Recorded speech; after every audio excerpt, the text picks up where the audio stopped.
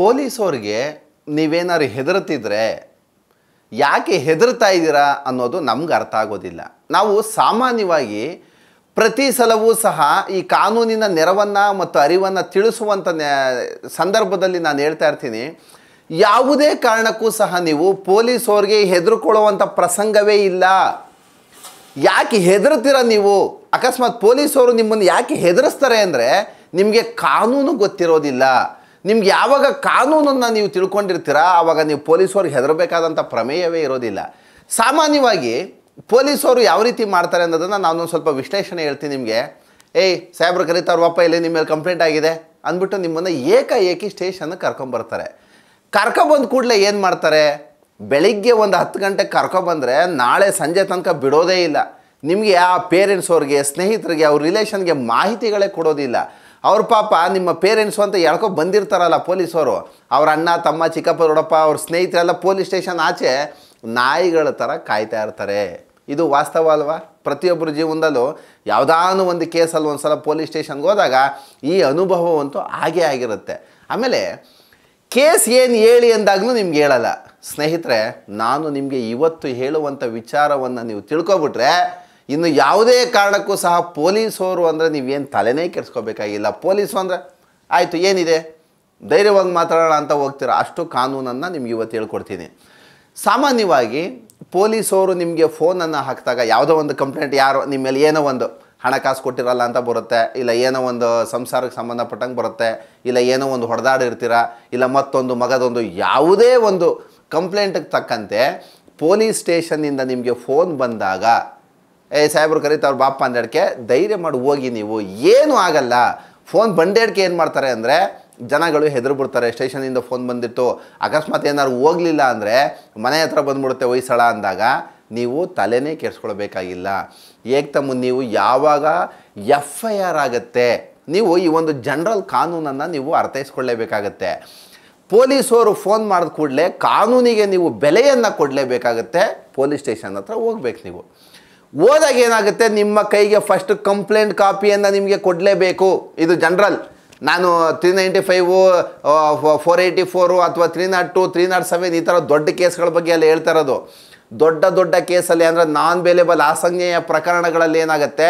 ನಿಮ್ಮನ್ನು ಕರ್ಕೊಂಬರ್ತಾರೆ ಎನ್ಕ್ವೈರಿಯನ್ನು ಮಾಡ್ತಾರೆ, ಇಪ್ಪತ್ನಾಲ್ಕು ಗಂಟೆಗಳ ಅವಧಿಯಲ್ಲಿ ಕೋರ್ಟ್ ಸಬ್ಮಿಷನ್ ಮಾಡಲೇಬೇಕು. ನಾನ್ ಬೇಲೇಬಲ್ ಆಗಿದ್ದರೆ ಕಸ್ಟಡಿ ಜುಡಿಷಿಯಲ್ ಕಸ್ಟಡಿಗೆ ತೊಗೊಬಿಡ್ತಾರೆ.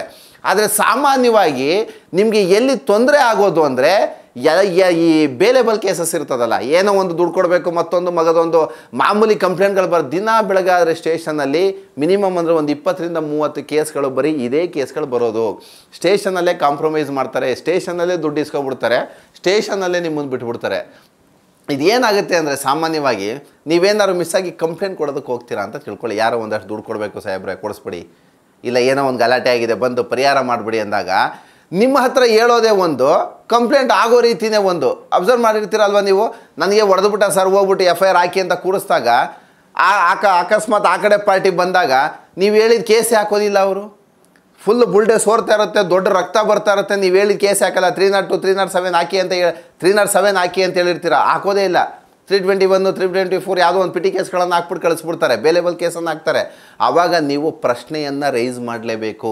ನೀವು ನಿಮ್ಮ ಕೇಸ್ಗೆ ತಕ್ಕಂತೆ, ನಿಮ್ಮ ಮೇಲೆ ಆಗಿರುವ ಹಲ್ಲೆಗೆ ತಕ್ಕಂತೆ ಈ ಸೆಕ್ಷನನ್ನು ಯಾವುದಾದರೂ ನಿಮ್ಮ ಹತ್ತಿರದ ವಕೀಲರನ್ನು ಸಂಪರ್ಕ ಮಾಡಿ ಈ ಥರ ಒಂದು ಅಪರಾಧ ಆಗಿದೆ, ಯಾವ ಕೇಸ್ಗಳನ್ನು ಹಾಕ್ಬೋದು ಅಂತ ಮಾಹಿತಿಯನ್ನು ತಗೊಂಡು ನೀವು ಎನ್ಕ್ವೈರಿ ಆಫೀಸರ್ಗೆ ಸ್ಟೇಷನಲ್ಲಿ ಯಾರು ಇನ್ಚಾರ್ಜ್, ಏನು ಇನ್ವೆಸ್ಟಿಗೇಷನ್ ಆಫೀಸರ್ ಅಂತಿರ್ತಾರೆ, ಇವು ಅವರಿಗೆ ಮಾಹಿತಿಯನ್ನು ನೀವು ಕೊಡ್ಬೋದು. ಎಲ್ಲ ಅಧಿಕಾರವೂ ಸಹ ನಿಮಗೆ ಕೊಟ್ಟಿದೆ ಕಾನೂನು. ಆದರೆ ಪೊಲೀಸವರು ಹಿಂಗೆ ಅಂದ್ಕೂಡಲೇ ನೀವು ಯಾಕೆ ಹೆದರ್ತೀರಾ ಅಂದರೆ ಪೊಲೀಸವರು ನಿಮ್ಗೊಂದು ಮಾತಂತಾರೆ, ಏಯ್ ಬರಲಿಲ್ಲ ಅಂದರೆ ಇಲ್ಲದೇ ಇರೋ ಕೇಸೆಲ್ಲ ಹಾಕ್ಬಿಟ್ಟು ನಿನ್ನನ್ನು ಜೈಲ್ ಪಾಲ್ ಮಾಡಿಬಿಡ್ತೀನಿ ಅಂತಾರೆ. ಯಾರದು? ಅವ್ರು ಹಾಕೋದಕ್ಕೆ ಯಾರು ಅಧಿಕಾರ ಕೊಟ್ಟಿರೋದು? ಪೊಲೀಸವ್ರಿಗೆ ಸ್ನೇಹಿತರೆ, ಮೊನ್ನೆ ಒಂದು ಇನ್ಸಿಡೆಂಟ್ ಆಯಿತು, ನಿಮ್ಗೆ ಹೇಳ್ತೀನಿ. ಒಬ್ಬ ವ್ಯಕ್ತಿಯನ್ನು ಏಕಾಏಕಿ ಅರೆಸ್ಟ್ ಮಾಡಿಬಿಟ್ಟು ಕರ್ಕೊಂಬಂದು ಸ್ಟೇಷನಲ್ಲಿ ಕುಂಡಿಸ್ಕೊಬಿಡ್ತಾರೆ. ಇದೊಂದು ಇದೊಂದು ಮಾತು ನಿಮಗೆ ಸಾಕು. ನೂರು ಆನೆ ಬಲ ಬರುತ್ತೆ ಕೇಸಲ್ಲಿ ನಿಮಗೆ. ಯಾವುದೋ ಒಂದು ದುಡ್ಡಿನ ವ್ಯವಹಾರದಲ್ಲಿ, ಯಾವುದೋ ಒಂದು ಕೇಸಲ್ಲಿ ಸೀದಾ ಕರ್ಕೊಬಂದು ಕುಂಡಿಸ್ಕೊಬಿಡ್ತಾರೆ. ನಿನ್ನೆ ಬೆಳಿಗ್ಗೆ ಕೂರಿಸ್ಕೋತಾರೆ ಸ್ಟೇಷನ್ನಲ್ಲಿ, ನಾಳೆ ಸಂಜೆ ತನಕ ಬಿಡೋದಿಲ್ಲ. ಅಂದರೆ ಏನಾಗುತ್ತೆ ಅಂದರೆ ಯಾವುದೋ ಒಂದು ಹಣಕಾಸಿಗೆ ಸಂಬಂಧಪಟ್ಟಂತೆ ಅಂತ ತಿಳ್ಕೊಳ್ಳಿ, ಎರಡು ದಿನ ಸ್ಟೇಷನಲ್ಲೇ ಕೂರಿಸಿರ್ತಾರೆ. ಬೆಳಿಗ್ಗೆ ಬೆಳಿಗ್ಗೆ ಕೇಳಿದ್ರೆ ಮಧ್ಯಾಹ್ನ ಬಿಡ್ತೀನಿ ಅಂದರೆ ಮಧ್ಯಾಹ್ನ ಕೇಳಿದ್ರೆ ಸಂಜೆ ಬಿಡ್ತೀನಿ ಅಂದರೆ ಸಂಜೆ ನೋಡಿದ್ರೆ ಸಾಹೇಬ್ರು ಇಲ್ಲ ಅಂದ್ಬಿಡ್ತಾರೆ. ತಿರ್ಗಾ ಬೆಳಿಗ್ಗೆ ಬಂದರೆ ನೆನ್ನೆ ನೆನ್ನೆ ಒಂದು ಡ್ಯೂಟಿ ನೀರಲ್ಲ ನಾ ಸಂಜೆ ಸಂಜೆ ಆಗ್ಬಿಡ್ತದೆ. ಎರಡು ದಿನ ಆಗ್ಬಿಡುತ್ತೆ. ಎರಡು ದಿನ ಏನಾದ್ರು ನಿಮ್ಮನ್ನು ಕೂರಿಸ್ಕೊಂಡ್ರೆ, ನೀವು ಕಾನೂನನ್ನು ಅರ್ಥೈಸ್ಕೊಳ್ಳಿ, ಯಾವುದೇ ಒಂದು ಕೇಸಲ್ಲಿ ಕೂಡ ಸ್ಟೇಷನ್ಗೆ ಕರ್ಕೊಂಡೋಗಿ ಏಕಾಏಕಿ ಎನ್ಕ್ವೈರಿ ಎಲ್ಲ ಮಾಡುವಂಥದ್ದು. ಕಂಪ್ಲೇಂಟ್ ಆಗಿರಲೇಬೇಕು. ಕೆಲವೊಂದು ಕಂಪ್ಲೇಂಟೇ ಆಗಿರಲ್ಲ ಅಲ್ಲಿ. ಈ ಲಿಖಿತವಾಗಿ ಕಂಪ್ಲೇಂಟ್ ಕಾಪಿ ಕೊಟ್ಟೇ ಇರೋದಿಲ್ಲ. ಯಾರು ಹೋಗ್ತಾರಂತೆ ಫೋನ್ ಮಾಡ್ತಾರಂತೆ ಫೋನ್ ಮಾಡಿಸ್ಬಿಡ್ತಾರೆ. ಅಬ್ಸರ್ವ್ ಮಾಡಿರ್ತೀರಾ? ಇದು ದಿನ ಬೆಳಗಾರೆ. ವಾಸ್ತವ ಕಾನೂನನ್ನು ನಾನು ನಿಮ್ಗೆ ಹೇಳೋ, ಹೇಳ್ತಿರುವಂಥದ್ದು. ಕಾನೂನನ್ನು ಎಷ್ಟೋ ಅಧಿಕಾರಿಗಳು ಫಾಲೋನೇ ಮಾಡಲ್ಲ. ಅವ್ರಿಗೇನೋ ಯಾರೋ ಫೋನ್ ಮಾಡಿಬಿಡ್ತಾರಂತೆ, ಇವ್ರು ಬಂದ್ಬಿಡ್ತಾರೆ, ಕರೆಸ್ಬಿಡ್ತಾರೆ, ಅಲ್ಲೇ ದುಡ್ಡು ಇಸ್ಕೊಬಿಡ್ತಾರೆ ಸೆಟ್ಲ್ ಮಾಡಿಸ್ಬಿಡ್ತಾರೆ, ಕರೆಸ್ಬಿಡ್ತಾರೆ. ಪೊಲೀಸವ್ರಿಗೆ ಹಣಕಾಸಿನ ವಿಚಾರದಲ್ಲಿ ಸೆಟ್ಲ್ಮೆಂಟ್ ಮಾಡಿಸುವಂಥ ಅಧಿಕಾರ ಕಾನೂನು ಕೊಟ್ಟೇ ಇಲ್ಲ. ಅಕಸ್ಮಾತ್ ಕೊಡಬೇಕು ಅಂದರೆ ಎಫ್ ಐ ಆರ್ ಆಗಿರಲೇಬೇಕು, ರಿಕವರಿ ಮಾಡಲೇಬೇಕು. ಏಕಾಏಕಿ ದುಡ್ಡು ಕೊಡಿಸ್ತಾರೆ ಅಂದರೆ ಏನರ್ಥ? ಯಾವ ಕಾನೂನಲ್ಲಿದೆ? ಯಾವ ಕಾನೂನಲ್ಲೂ ಇಲ್ಲ. ಬಟ್ ನೀವು ಮಾಡ್ಕೋತೀರಾ? ಅವ್ರು ಮಾಡಿಸ್ ಕಳಿಸ್ತಾರೆ ಇಷ್ಟೇ ಅಲ್ವಾ? ಹಾಗಾಗಿ ಸಾಮಾನ್ಯವಾಗಿ ನೀವು ಸ್ಟೇಷನ್ಗೆ ಹೋದಂತಹ ಸಂದರ್ಭದಲ್ಲಿ ಕಂಪ್ಲೇಂಟ್ ಕಾಪಿಯನ್ನು ಕೇಳ್ಬೋದು. ಕಂಪ್ಲೇಂಟ್ ರಿಜಿಸ್ಟರ್, ಕಂಪ್ಲೇಂಟ್ ಏನಿರುತ್ತೆ ನೋಡ್ಬೋದು. ಅದಕ್ಕೆ ಸಂಬಂಧಪಟ್ಟಂತೆ ನೀವು ಆರಾಮಾಗಿ ಉತ್ತರವನ್ನು ಕೊಟ್ಬಿಟ್ಟು ಆರಾಮಾಗಿ ಆಚೆ ಹೋಗ್ಬೋದು. ಇದು ಕಾನೂನಿದೆ. ಏಕಾಏಕಿ ಕಂಪ್ಲೇಂಟು ಇಲ್ದಲೆ ಆಮೇಲೆ ಎನ್ ಸಿ ಆರ್ ಪ್ರಕರಣಗಳಲ್ಲಿ ಏನಿರುತ್ತೆ, ನೀವು ಬೆಳಗ್ಗೆಯಿಂದ ಸಂಜೆ ತನಕ ಸ್ಟೇಷನಲ್ಲಿ ಕೂರಿಸುವಂಥ ಅಧಿಕಾರ ಪೊಲೀಸವ್ರಿಗೆ ಖಂಡಿತ ಇಲ್ಲ. ಈ ಒಂದು ಪಾಯಿಂಟನ್ನು ನೀವು ಅರ್ಥ ಮಾಡ್ಕೋಬೇಕು. ಯಾವುದೋ ಒಂದು ಎನ್ ಸಿ ಆರ್ ಹಾಕಿರ್ತೀವಿ ಅಂತ ಅಂತಾರೆ ನೀವು ಕಾಗ್ನ, ಕಾ, ನಾನ್ ಕಾಗ್ನ ರಿಪೋರ್ಟ್ಗಳು. ಈ, ಇದೆಲ್ಲ ಏನಾಗ್ತದೆ, ಈ ರಿಜಿಸ್ಟರ್ ಹಾಕುವಂಥ ಸಂದರ್ಭದಲ್ಲಿ ಬೆಳಿಗ್ಗೆ ಕರೆಸಿ, ಸಂಜೆ, ನಾಳೆ, ನಾಡಿದ್ದು, ಮುಂದಿನ ವಾರ ಬನ್ನಿ, ಈ ರೀತಿ ಟೈಮ್ ಕೊಟ್ಟು ನಿಮ್ಮ ಸಮಯವನ್ನು ವ್ಯರ್ಥ ಮಾಡುವಂಥ ಅಧಿಕಾರ ಪೊಲೀಸ್ ಅಧಿಕಾರಿಗಳಿಗೆ ಇರೋದಿಲ್ಲ. ನೀವೇನಾದ್ರು ಕಂಪ್ಲೇಂಟನ್ನು ಕೊಟ್ಟಂಥ ಸಂದರ್ಭದಲ್ಲಿ ಅವ್ರನ್ನ ಕರೆಸಿ ನಿಮಗೆ ಏನೇನಾಗಿದೆ ಅಂತ ಎನ್ಕ್ವೈರಿಯನ್ನು ಮಾಡುವಂಥ ಅಧಿಕಾರ ಪೊಲೀಸ್ ಯಾರು ಇನ್ವೆಸ್ಟಿಗೇಷನ್ ಆಫೀಸರ್ ಇರ್ತಾರೆ, ಅವ್ರಿಗೆ ಅಧಿಕಾರ ಇರುತ್ತೆ. ಆಮೇಲೆ ಪೊಲೀಸ್ ಸ್ಟೇಷನ್ಗೆ ಹೋದ ಕೂಡಲೇ ಹೆದರಬೇಕಾದಂತ ಏನಿಲ್ಲ. ಏನು ವಿಚಾರ ಕಂಪ್ಲೇಂಟ್ ಏನು ಕೊಟ್ಟಿದ್ದಾರೆ? ನಿಮ್ಮ ನಿಮ್ಮ ವಿಮರ್ಶೆಯನ್ನು ನೀವು ಕೊಡ್ಬೋದು. ಅಪರಾಧ ಆಗಿದ್ದರೆ ಎನ್ಕ್ವೈರಿ ಆಫೀಸಲ್ಲೂ ಎನ್ಕ್ವೈರಿ ಅಧಿಕಾರಿ ಯಾರಿರ್ತಾರೆ ಆಫೀಸಲ್ಲಿ ಅವರು ಸ್ಟೇಷನಲ್ಲಿ ಅವರು ಎನ್ಕ್ವೈರಿಯನ್ನು ಮಾಡ್ತಾರೆ. ನೀವಿಲ್ಲ ಅಂದರೂ ಅವ್ರು ಬಾಯಿ ಬಿಡಿಸ್ಕೋತಾರೆ. ಅವರ ಅಧಿಕಾರ ಇರುತ್ತೆ ಅದು, ಕಾನೂನು ಅವ್ರಿಗೆ ಅಧಿಕಾರ ಕೊಟ್ಟಿರುತ್ತೆ. ಎನ್ಕ್ವೈರಿ ಮಾಡುವಂಥ ಸಂದರ್ಭದಲ್ಲಿ ಅವರು, ಅವ್ರದ್ದೇ ಆದಂಥ ವೈಶಿಷ್ಟ್ಯತೆಗಳಿರುತ್ತೆ. ಅವರು ಬಾಯಿ ಬಿಡಿಸ್ಕೋತಾರೆ. ಹಾಗಂತ ಟಾರ್ಚರ್ ಮಾಡುವಂಥದ್ದು ಥರ್ಡ್ ಡಿಗ್ರಿ ಸ್ಟೇ ಇದು ಕೊಡುವಂಥದ್ದು ಅದಕ್ಕೆ ಕಾನೂನಲ್ಲಿ ಪ್ರಾಧಿಕಾರನೇ ಇಲ್ಲ ಅದಕ್ಕೆ. ಅದಕ್ಕೆ ಅವಕಾಶನೇ ಇಲ್ಲ. ಪ್ರಾವಿಷನ್ಸೇ ಇಲ್ಲ. ಏನಂದರೆ ನಮ್ಮ ಸುಪ್ರೀಂ ಕೋರ್ಟ್ ಆರ್ಡರ್ಗಳಿದೆ. ಎಷ್ಟು three three nought two, three nought seven ಈ ಥರ ಕೇಸ್ಗಳಲ್ಲೇ ನೀವು ಹೊಡಿದಲೇ ಬಾಯಿ ಬಿಡಿಸಿ, ನಿಮ್ಮ ಎನ್ಕ್ವೈರಿ ಏನಿದೆ ಎನ್ಕ್ವೈರಿ ಮಾತ್ರ ಮಾಡಿ, ಟಾರ್ಚರನ್ನು ಮಾಡಿ ಬಾಯಿ ಬಿಡಿಸುವಂಥ ಮೆಥಡ್ಗೆ ನೀವು ಹೋಗಲೇಬೇಡಿ ಅನ್ನೋದು ಸುಪ್ರೀಂ ಕೋರ್ಟ್ ಗೈಡ್ಲೈನ್ಸ್ಗಳಿದೆ. ಹಾಗಾಗಿ ಯಾವುದೇ ಪ್ರಕರಣಗಳಲ್ಲಿ ಪೊಲೀಸರು ನಿಮ್ಗೆ ಹೊಡಿತಾರೆ ಅಂದರೆ ಹೊಡೆಯೋಕೆ ಪ್ರಾವಿಷನ್ಸೇ ಇಲ್ಲ. ಸಾಮಾನ್ಯವಾಗಿ ನೀವು ಸ್ಟೇಷನಲ್ಲಿ ಅರೆಸ್ಟ್ ಆಗಿ ಕಸ್ಟಡಿಗೆ ಅಥವಾ ಕೋರ್ಟ್ಗೆ ಕರ್ಕೊಂಡೋಗುವಂಥ ಸಂದರ್ಭದಲ್ಲಿ ಪೊಲೀಸ್ ಪ್ರತಿಯೊಂದು ಸ್ಟೇಷನಲ್ಲೂ ಸಹ ಪೊಲೀಸವರು ಕೋರ್ಟ್ಗೆ ಸಬ್ಮಿಷನ್ ಮಾಡೋ ಟೈಮಲ್ಲಿ ಹೇಳ್ತಾರೆ, ಏಯ್, ಪ, ಜಡ್ಜ್ ಕೇಳ್ತಾರೆ, ನಿಮ್ಗೇನಾದ್ರು ಟಾರ್ಚರ್ ಮಾಡಿದ್ರ ಅಥವಾ ಹೊಡೆದ್ರ ಅಂತ ಕೇಳಿದ್ರೆ, ಹೊಡೆದಿಲ್ಲ ಅಂತೇಳಿ ಅಂತ ಪೊಲೀಸವ್ರು ಹೇಳ್ಕೊಟ್ಬಿಟ್ಟು ಅಲ್ಲಿ ಕಟ್ಕಟ್ಟೆಯಲ್ಲಿ ನಿಲ್ಲಿಸ್ತಾರೆ. ಅಲ್ವಾ? ಅಬ್ಸರ್ವ್ ಮಾಡಿರ್ತೀರಾ?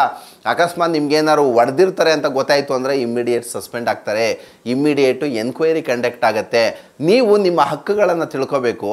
ಆಮೇಲೆ ನಿಮ್ಗೆ ಯಾಕೆ ಪೊಲೀಸ್ ಒಂದಕ್ಕೆ ಎದುರು ಬಿಡ್ತೀರ ಅಂದರೆ, ಅಯ್ಯೋ, ಅಪ್ಪ, ಈ ಕೇಸ್ ಬಿಡ್ತಾರೆ ಆಮೇಲೆ ಬೇರೆ ಬೇರೆ ಕೇಸಲ್ಲೆಲ್ಲ ತಗಲಾಕ್ಬಿಡ್ತಾರೆ ಅಂತ ನೀವೇನಾರು ಅಂದ್ಕೊಂಡ್ರೆ ಅದು ಮುಟ್ಟಾಳತನ.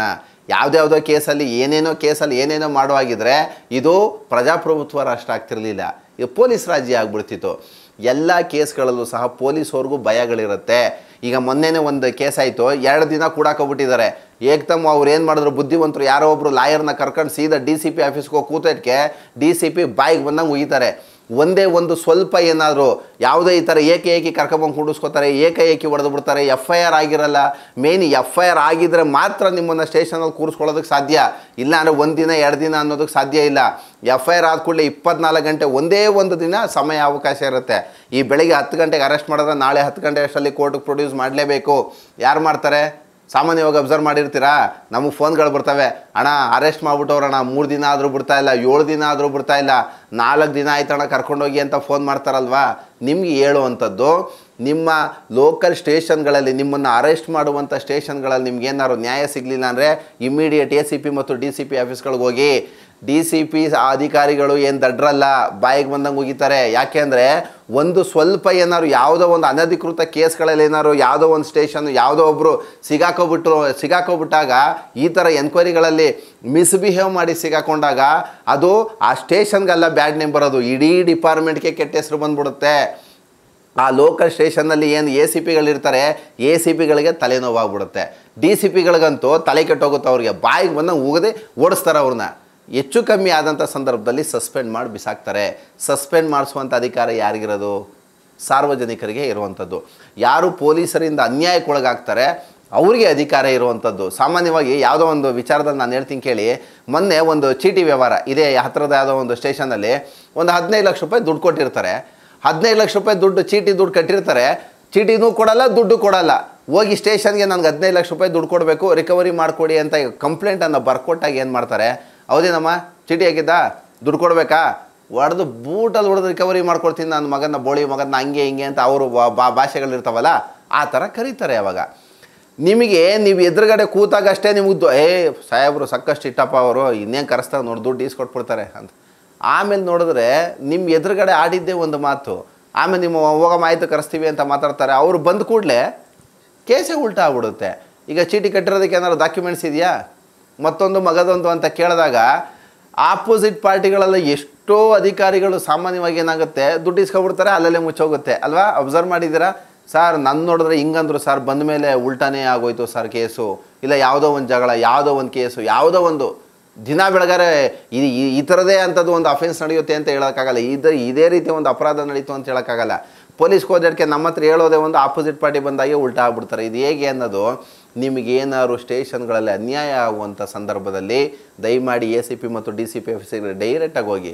ನೀವು ಕಂಪ್ಲೇಂಟ್ ಮಾಡಿದಂಥ ಸಂದರ್ಭದಲ್ಲಿ ನಮ್ಮ ಗಮನಕ್ಕೆ ಬಂದಂಗೆ ಯಾವ A C P D C ಪಿಗಳಂತೂ ಅದರಲ್ಲಿ ಇದೇ ಆಗಲ್ಲ. ಸ್ಟೇಷನಲ್ಲಿ ನಿಮಗೆ ನೂರಕ್ಕೆ ನೂರು ಪರ್ಸೆಂಟ್ ನ್ಯಾಯಗಳನ್ನು ದೊರಕಿಸ್ಕೊಡ್ತಾರೆ. ನಿಮ್ಮ ಹಕ್ಕುಗಳನ್ನು ನೀವು ತಿಳ್ಕೊಂಡಿರಬೇಕು.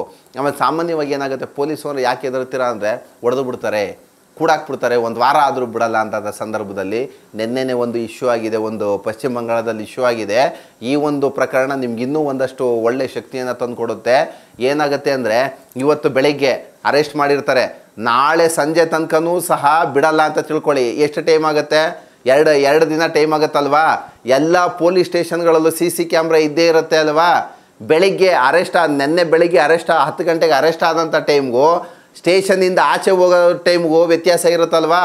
ಅದೊಂದು ಆರ್ ಟಿ ಐಯನ್ನು ಹಾಕಿ ಆ ಪೊಲೀಸ್, ನಾವು ಎಷ್ಟು ದಿನ ಇದ್ದೀವಿ ಅಂತ ಸಿ ಸಿ ಕ್ಯಾಮ್ರಾವನ್ನು ಫೋಟೋಸ್ ತೆಗೆಸಿ ಆರು ಜನ ಅರೆಸ್ಟ್ ಮಾಡಿದಂಥ ಅಧಿಕಾರಿಗಳು, ಅಂದರೆ ಇನ್ಸ್ಪೆಕ್ಟ್ರು, ಸಬ್ ಇನ್ಸ್ಪೆಕ್ಟ್ರು, ನಾಲ್ಕು ಜನ ಕ್ರೈಮ್ ಅವರು, ಎಲ್ಲ ಸೇರಿ ಸಸ್ಪೆಂಡ್ ಮಾಡಾಕಿದ್ದಾರೆ. ಇದೆಲ್ಲ ಏನಾಗುತ್ತೆ ಅಂದರೆ, ನೀವು ಕೂಡ ಅರ್ಥ ಮಾಡ್ಕೋಬೇಕಾಗ್ತದೆ. ಪೊಲೀಸಲ್ಲಿ ಸ್ಟೇಷನಲ್ಲಿ ನೀವೇನು ಎದುರ್ಕೋಬೇಕಾಗಿಲ್ಲ. ನಿಮಗೆ ಎದ್ವಾ ತದ್ವಾ ಹೊಡೆದು ಬಿಡ್ತಾರೆ ಅಂತ ತಿಳ್ಕೊಳ್ಳಿ. ತುಂಬ ಟಾ ಯಾವುದೋ ಒಂದು ಸಿಲ್ಲಿ ಮ್ಯಾಟ್ರ್ ಕರ್ಕೊಂಡು ಒಡೆದು ಬಿಡ್ತಾರೆ. ಈ ಏನು ಮಾಡ್ತಾರೆ ಅಂದರೆ ಸಾಮಾನ್ಯವಾಗಿ ಕ್ರೈಮರು ಏನಾದ್ರು ನೀವೇನಾರು ಒಂದು ಸ್ವಲ್ಪ ಉಲ್ಟಾಪಲ್ಟ ಯಾಕ್ರೆ ಅರೆಸ್ಟ್ ಮಾಡ್ತೀರಾ, ನಾನೇನ್ರಿ ಮಾಡಿದೆ ಅಂದ್ಬಿಟ್ರೆ ಸಾಕು. ಹಿಡ್ಕೊಂಡು ದನ ಹೊಡೆದಂಗೆ ಹೊಡೆದಾಕ್ಬಿಡ್ತಾರೆ. ಅದೇ ಅಲ್ವಾ, ಸಾಮಾನ್ಯವಾಗಿ ಆಗುವಂಥದ್ದು? ಈ ಕೇಸಲ್ಲಿ ಬಿಡ್ತೀನಿ ನಿನ್ನ ಲಾಯರ್ ಹತ್ತ ಹೋಯ್ತೀಯಾ? ಎ ಸಿ ಪಿ ಆಫೀಸ್ಗೆ ಹೋಗ್ತೀಯಾ? ಎಂ ಎಲ್ ಎ ಹತ್ರ ಫೋನ್ ಮಾಡಿಸ್ತೀಯಾ? ಲೋಕಲ್ ಲೀಡರ್ ಹತ್ರ ಫೋನ್ ಮಾಡಿಸ್ತೀಯಾ ಅಂತ ದರ್ಪ ದೌರ್ಜನ್ಯ ಮಾಡಿದಂಥ ಸಂದರ್ಭದಲ್ಲಿ ಹೊಡಿತಾರೆ. ಈ ಹೊಡೆದಂಥ ಸಂದರ್ಭದಲ್ಲೂ ಸಹ ಅವರು ಬಂದಂತಹ ಸನ್ನಿವೇಶ ಮತ್ತು ಹೋಗುವಂಥ ಸನ್ನಿವೇಶ ಎರಡೂ ಕೂಡ ಕ್ಯಾಮ್ರಾಗಳಲ್ಲಿ ರೆಕಾರ್ಡ್ ಆಗ್ತಾ ಇರ್ತದೆ ಸ್ಟೇಷನಲ್ಲಿ ಬಂದಾಗ ಚೆನ್ನಾಗಿದ್ದು, ಹೋಗುವಾಗ ಕುಂಟ್ಕೊಂಡು ಹೋಗ್ತಾ ಇರುವಾಗ ಆ ಒಂದು ವಿಡಿಯೋವನ್ನು ಜಡ್ಜ್ ನೋಡಿದಾಗ ಏನಾಗುತ್ತೆ? ಅಸಾಲ್ಟ್ ಪೊಲೀಸವರು ಟಾರ್ಚರ್ ಮಾಡಿದ್ದಾರೆ ಅಂತ ಗೊತ್ತಾಗ್ಬಿಟ್ರೆ ಇಮ್ಮಿಡಿಯೇಟ್ ಸಸ್ಪೆಂಡ್ ಮಾಡಾಕ್ತಾರೆ. ಡಿ ಸಿ ಪಿ ಸಾಹೇಬ್ರೆ ಸಸ್ಪೆಂಡ್ ಮಾಡಿಬಿಡ್ತಾರೆ. ಇಲ್ಲ ಕಮಿಷನರ್ ಸಾಹೇಬರು ಸಸ್ಪೆಂಡ್ ಮಾಡ ಸಸ್ಪೆಂಡ್ ಮಾಡ್ತಾರೆ. ಜಡ್ಜ್ ಅಂತೂ ಕ್ಲೀನಾಗಿ ಆರ್ಡ್ರ್ ಮಾಡಿ ಬಿಸಾಕ್ತಾರೆ. ಇಮ್ಮಿಡಿಯೇಟ್ ಎನ್ಕ್ವೈರಿ ಮಾಡಿಬಿಟ್ಟು ಸಸ್ಪೆಂಡ್ ಮಾಡಾಕಿ ಅವ್ರನ್ನ ಅಂತ.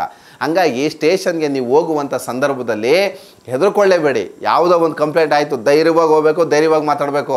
ಹಾಕಿದ್ರೆ ಎಫ್ ಐ ಆರ್ ಇಪ್ಪತ್ನಾಲ್ಕು ಗಂಟೆ ನೀವು ನಿಮ್ಮ ವಕೀಲರನ್ನು ಸಂಪರ್ಕ ಮಾಡಬೇಕು. ನಿಮ್ಮ ಅಪರಾಧಕ್ಕೆ ತಕ್ಕಂತೆ ನಿಮ್ಮ ಏನೇ ಮಾಹಿತಿಗಳಿದ್ರು ವಕೀಲರು ನೋಡ್ಕೊಳ್ತಾರೆ. ಅದನ್ನೇ ಪ್ರಶ್ನೆ. ಬಟ್ ಆದರೆ ಸ್ಟೇಷನ್ಗಳಲ್ಲಿ ಅನ್ಯಾಯಕ್ಕೊಳಗಾದರೆ ದಯಮಾಡಿ ಇನ್ಮೇಲಿಂದ ಯಾರೂ ಹೆದರಬೇಡಿ. ನಿಮ್ಮ ಹತ್ತಿರದ ವಕೀಲರನ್ನ ಈ ಥರ ಆಗಿದೆ ಅಂದ್ಬಿಟ್ಟು ನೀವು ಮ ಕಾನೂನಲ್ಲಿ ಮಾಹಿತಿಯನ್ನು ತೊಗೊಳ್ಳೇಬೋದು